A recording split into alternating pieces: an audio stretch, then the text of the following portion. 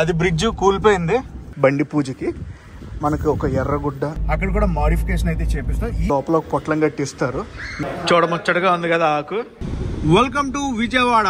So guys seat covers అనేది నేను finalise చేస్తున్నాను అనమాట హే గైస్ నేను మీ తెలుగు ట్రావెల్ బ్లాగర్ని మరో కొత్త వీడియోతో అయితే మేము ముందుకు వచ్చాను. రైట్ నో నేను రాజమండ్రి మన TUV three hundred co driver సీట్లో అయితే ఉన్నాను. డ్రైవింగ్ సీట్లో ఎవరున్నారు చూడండి. మోటో ఇస్ దేర్ సో మేమిద్దరం ఈ రోజు ఒక దగ్గరికి వెళ్ళబోతున్నాం.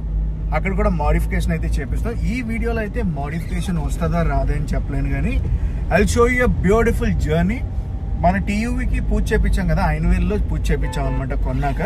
ఈరోజు ఊరు నుంచి మళ్ళీ బయటకు తీసుకెళ్తున్నాను కాబట్టి ఒక గుళ్ళో పూజ చేపించి అక్కడి నుంచి నా జర్నీ అనేది స్టార్ట్ చేస్తా. చాలా సామాన్లు అయితే కొనాలి నెక్స్ట్ అడ్వెంచర్ రైడ్స్కి ఏమేమి ఏమేం కొంటున్నాను ఎక్కడికి వెళ్తున్నాను? ఎండ్ డెస్టినేషన్ మటుకు విజయవాడ. విజయవాడ అయితే వెళ్తున్నాను. చాలా కథ ఉంది వెళ్ళే రూట్లో మాట్లాడుకుంటూ వెళ్ళిపోదాం. ప్రస్తుతం మేము రైల్వే స్టేషన్ రూట్లో ఉన్నాం. రైల్వే స్టేషన్ రూట్ నుంచి ధవలేశ్వరం వెళ్ళి ధవలేశ్వరం మీదుగా బ్యారేజ్ ఎక్కి బ్యారేజ్ దిగి నిడదోలు అయితే వెళ్తాం. నిడదోల్లో కోట్సత్తం గుడి ఉంటుంది. కోట్సత్తం తల్లి గుడిలో మన టీయూకి ఇంకొక పూజ చేపించి అక్కడి నుంచి ఇంకా హైవే అయితే క్యాచ్ చేస్తా. అప్పటి నుంచి నేను డ్రైవింగ్ చేస్తా. బ్యారేజ్ అయితే ఎక్కుతున్నా సరార్దన్ కాటన్ గారు. మా బ్యారేజ్ అయితే చూడండి రోడ్ ఎలా ఉందా? ఎవరికైనా బేబచ్చమైన ఆఫ్ రోడ్ ఎక్స్పీరియన్స్ కావాలంటే మా ధోలేశ్వరం బ్యారేజ్కి వస్తే చాలు. మంచి ఎక్స్పీరియన్స్ అన్నమాట. అది అది అది అది. ఎలా ఉంది? ఆఫ్ రోడ్ ఎక్స్పీరియన్స్ ఎలా తిరుగుతుంది బండి? మామూలుగా ఉండదు ఆఫ్ రోడ్ ఇంకా బ్యారేజ్ పైన ఉన్నాం. కస్టమైజేషన్ అంటే మామూలు విషయం కాదండి. ఎన్నో చేయించాలి మనకు తగ్గట్టు మన బండిని అయితే మార్చుకోవాలన్నమాట. మీరు నా ప్రీవియస్ వీడియోలు చూసారంటే మన రెడ్ బుల్కి నేను ఎన్ని మార్పించుకుని నాకు తగ్గట్టు చేయించుకున్నానో మీ అందరికీ తెలిసిందే. సో అలాగే సేమ్ టీయూబీని కూడా మార్పించుకుంటున్నాను నేను. మార్పించుకోవడం అంటే అదే విధంగా మోడిఫికేషన్ అయితే చేయించుకుంటున్నాను ఇది విద్యేశ్వరం బ్యారేజ్? అక్కడ కనిపిస్తుంది చూడండి. లాస్ట్ ఫ్యాక్టరీ లాగా. విద్యేశ్వరం పవర్ ప్లాంట్ అంటారు. అక్కడ నుంచి మనం లెఫ్ట్ డైవర్షన్ తీసుకోవాలి. ఈ బ్యారేజ్ బాగుంటుంది. ఏది? విద్యేశ్వరం బ్యారేజ్ ధవలేశ్వరం బ్యారేజ్ ఒకటి చాలా దారుణంగా ఉంటుంది తెలుసా? ఇక్కడేనండి లెఫ్ట్ తిరగాల్సింది మనం.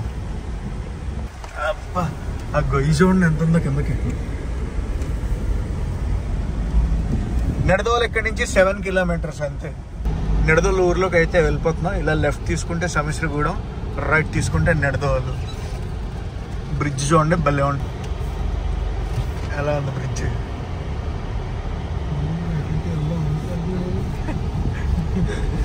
ఫీట్లు వేస్తున్నాడు బాయ్. ఈ ఫ్లైఓవర్ ఎక్కి దిగితే నిడదల ఊర్లోకి వెళ్ళిపోతాం. అటు సైడ్ ఉంటుంది స్టేషన్. ఊర్లోంచి కోటసత్తం గుడికి అయితే వెళ్ళిపోతున్నాం. ఇక్కడ వై జంక్షన్ వస్తుంది. వై జంక్షన్లో లెఫ్ట్కి వెళ్ళాలి మనం. వై జంక్షన్ అని చెప్పాను కదా టెంపుల్ ఎలాగ వెళ్ళినా వస్తుంది ఎలాగ వెళ్ళినా వస్తుంది. ఇటు సైడ్ వెళ్తే మెయిన్ ఎంట్రన్స్. నేను ఇటు సైడ్ పార్కింగ్ సైడ్కి అయితే వెళ్దాం అని చెప్పి ఇటు లెఫ్ట్లోకి తీసుకున్నాను. ఖాళీగానే ఉంటుంది. ఆదివారం కాదు కాబట్టి శుక్రవారం ఆదివారం అయితే మటుకు వేమచ్చమైన రష్ ఉంటుంది. నాకు అక్షరాభ్యాసం జరిగింది ఈ గుళ్ళోనే. గుడి లోపలికి అది వచ్చాను. టికెట్ అది తీసుకున్నాను బండి పూజకి.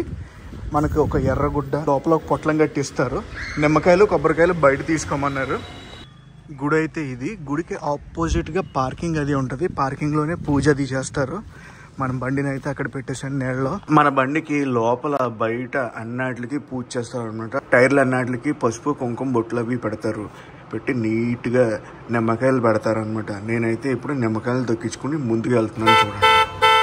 మూడు సార్లు హార్న్ కొట్టి ముందుకు తీసుకెళ్ళి పెట్టాను ఫస్ట్. తర్వాత గుడిలో దర్శనం అది చేసుకోవడానికి వెళ్ళాం.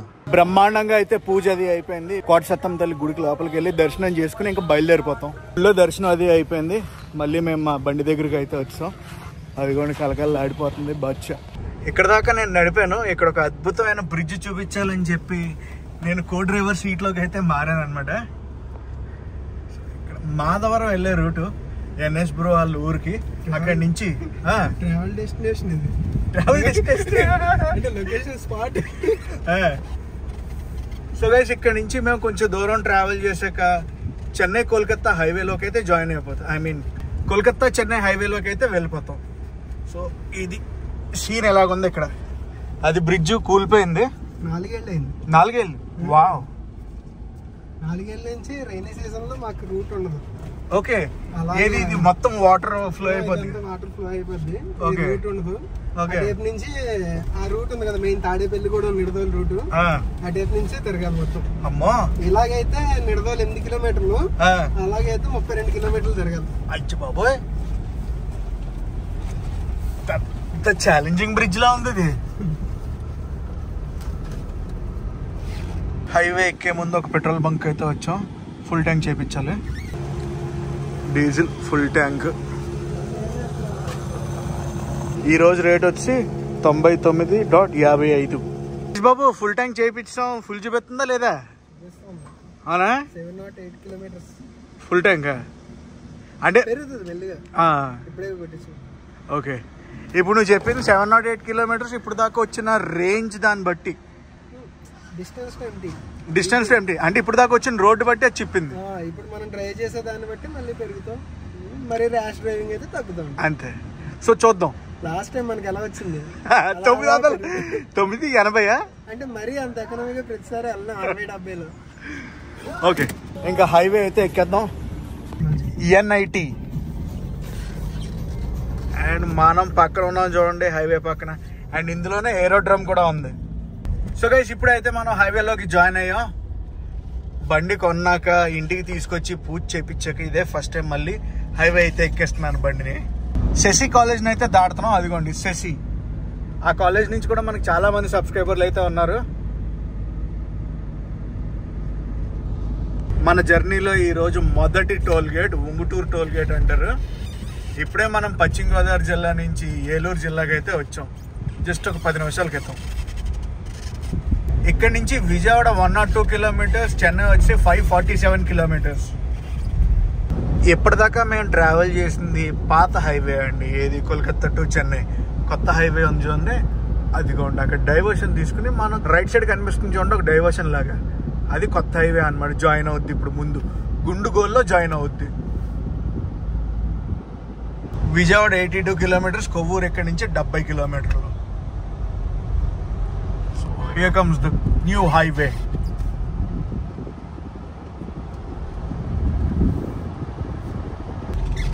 left సైడ్కి వెళ్తే ఏలూరు ఊర్లోకి వెళ్తాం. అక్కడ బిల్డింగ్ కనిపిస్తుంది చూడండి. ఇదంతా కూడా ఆశ్రమ హాస్పిటల్. ఏలూరు బైపాస్లోంచి ఏలూరు సిటీని క్రాస్ చేసేద్దాం. విజయవాడ యాభై నాలుగు గుంటూరు తొంభై ఏడు నెల్లూరు మూడు వందల ఇరవై ఎనిమిది. నెల్లూరు మిస్సింగ్ యూ ఏలూరు ఊరు దాటగానే మేమైతే లంచ్ బ్రేక్ అయితే ఆగాం. రెస్టారెంట్ పేరు వచ్చి సంక్రాంతి ఫ్యామిలీ రెస్టారెంట్. అరిటాక్ని అయితే చాలా రోజుల తర్వాత చూశాను మా ఏరియాలో. చెట్టుగా అయితే చూశాను కానీ అరిటాకులో భోజనం. ఐ మీన్ చెప్పేది ఏంటంటే. నేనైతే మీల్స్ చెప్పాను ఎన్ఎస్ బ్రో రోటీ చూడముచ్చటగా ఉంది కదా ఆకు.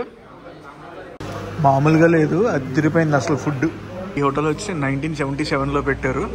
అప్పుడు రేట్ స్టార్ట్ చేసినప్పుడు రేట్ చూడండి వన్ పాయింట్ సెవెన్ ఫైవ్ అంటే రూపాయి డెబ్బై ఐదు పైసలు.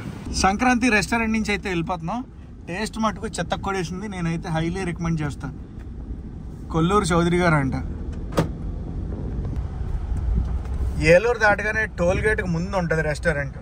అదిరింది అంతే మాటలు లేవు. ఇక్కడ డైవర్షన్ తీసుకున్నాం అనుకోండి హనుమాన్ జంక్షన్ వెళ్ళొచ్చు. ఇక్కడ నుంచి విజయవాడ అప్రాక్సిమేట్గా యాభై కిలోమీటర్లు అయితే ఉంటుంది. Hanuman junction it side diversion. Welcome to Vijayawada. నా లెఫ్ట్ సైడ్ చూసారంటే ఎయిర్పోర్ట్ బౌండరీ హాల్ అనమాట ఇదంతా. అండ్ ఎయిర్పోర్ట్కి ఎంట్రన్స్ ఎట్ సైడ్. అక్కడి నుంచి లెఫ్ట్కి వెళ్ళాలి మనం. చూపిస్తా. Vijayawada international airport.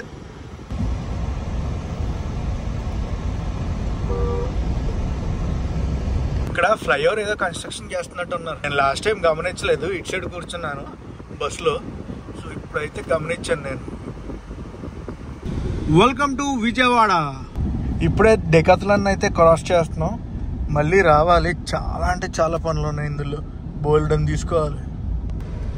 టైం అయితే చూడండి త్రీ థర్టీ ఫైవ్ దాటింది and we're in Vijayawada city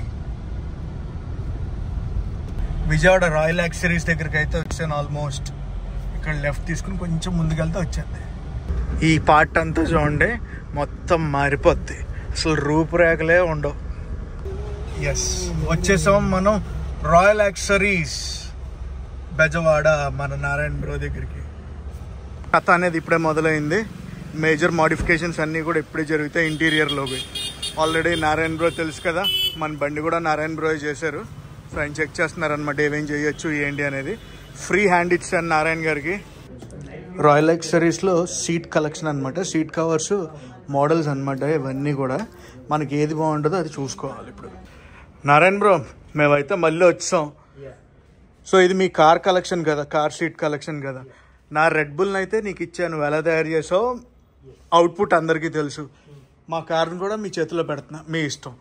but మాట రాకూడదు ఎక్కడ కూడా. మీరు ఏం సజెస్ట్ చేస్తారో చూపించండి. యాక్చువల్లీ షీట్ కోడ్స్ డిజైన్స్ చూడండి bro first okay design select చేసిన తర్వాత will will go for collection for cloth collection అనమాట. ఓకే ఇవన్నీ డిజైన్సా ఇవన్నీ డిజైన్స్ అనమాట. అది తక్కువ రకమైన రెగ్జిన్ అయినా కానీ హై లెదర్ అయినా కానీ డిజైన్స్లో ఏదైనా సరే డిజైన్ చేస్తాం. డిజైన్ అంటే ఇప్పుడు ఈ డిజైన్. అవునండి ఈ సీట్ కవర్ మొత్తం డిజైన్స్ అనమాట ఇవన్నీ. ఓకే. ఈ డిజైన్ బాగున్నట్టుందా? ఏ ఎక్సలెంట్ ఎక్సలెంట్ సెలెక్షన్ చాలా బాగుంది డిజైన్. ఇదొకటి సో గైస్ సీట్ కవర్స్ అనేది నేను ఫైనలైజ్ చేస్తున్నాను అనమాట అండ్ ఇక్కడికే టైం అయితే అయిపోయింది. నెక్స్ట్ వీడియోలో మళ్ళీ కలుసుకుందాం. గైస్ ఈ వ్లాగ్ని అయితే ఎక్కడ ఎండ్ చేస్తున్నా ఈ వ్లాగ్ ఎలా కనిపిస్తుందో కామెంట్స్ చెప్పండి. ఈ వ్లాగ్ నచ్చితే మటుకు కంపల్సరీ లైక్ చేసి షేర్ చేసి కామెంట్ చేయండి. నేను మీ Telugu travel blogger signing off from Royal Accessories Vijayawada